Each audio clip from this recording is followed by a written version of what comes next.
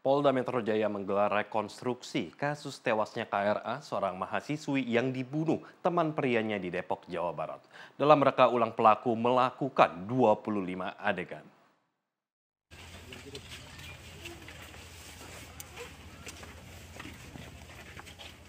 Sebanyak 45 personil gabungan dari Polda Metro Jaya, Polres Metro Depok, dan Polsek Sukma Jaya dikerahkan dalam pelaksanaan rekonstruksi kasus pembunuhan yang digelar di TKP Jalan Daud, Sukma Jaya, Kota Depok.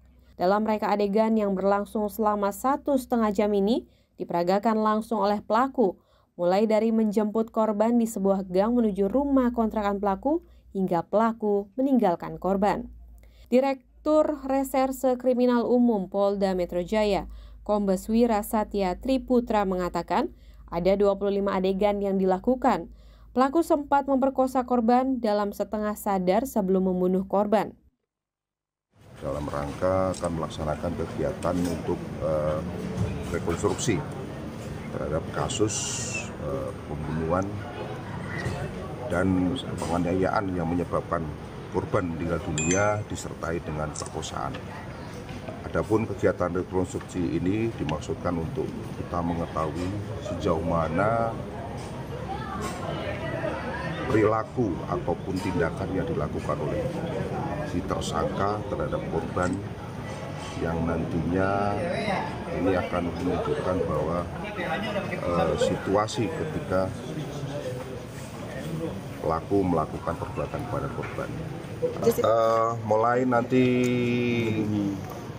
si pelaku menghubungi korban melalui chat sampai kemudian nanti sampai dengan terakhir uh, si pelaku orang si pelaku kabur. kabur dan orang tuanya nanti datang untuk melihat situasi uh, kondisi daripada korban.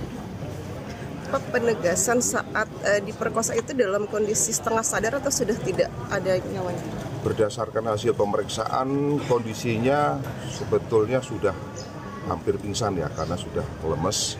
Jadi karena dicekek dalam kondisi lemas itu di korban diperkosa oleh pelaku. Pelaku yang juga seorang DPO kasus pencabulan ini dijerat pasal berlapis yakni 338, 351 ayat 3 KUHP, dan 285 dengan ancaman 15 tahun penjara.